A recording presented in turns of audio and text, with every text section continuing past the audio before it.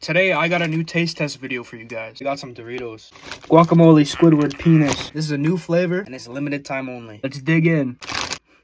They're kind of greenish. Here's a better view. I wish these weren't limited time, damn it. But with all that being said, I'm gonna have to give this a 9.3 out of 10.